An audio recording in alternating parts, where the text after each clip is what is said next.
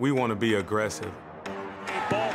We want to have guys that can get to the football and guys that you you know use the football term fly around. The faster you are at doing that, the more havoc you can create.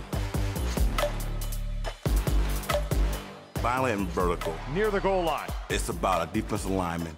He's down in a great stance, his hand out in front of his hat, his feet staggered. He's ready to get off that ball. Bulls have got it. He's like a ticking time bomb. As soon as that center squeezes the ball to snap it, he's getting off that ball.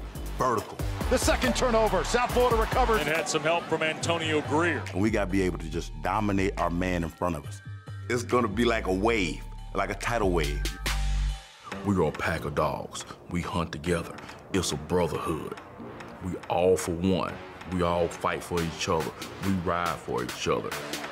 When you have a team that's about love and ownership, Reaves and Kirk are really close. Down he goes. Competitive too, you know. I think they're both trying to be the best versions of themselves and trying to be better than the other one.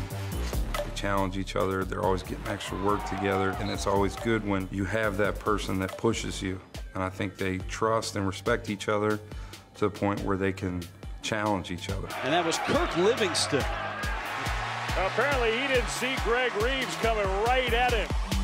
They lead through hard work and they lead by example, and sometimes that's the best leader that you can have. Now, that's another good job by Patrick Macon, the middle linebacker, making good, sound, fundamental tackles. The biggest thing is mental toughness. Know how tough a guy is when times get bad and he's in an uncomfortable situation, how mentally tough that young man is. I think toughness is no matter what type of day it is, no matter what type of environment you're playing in, you show up and you're the same player every time. Broken up, incomplete.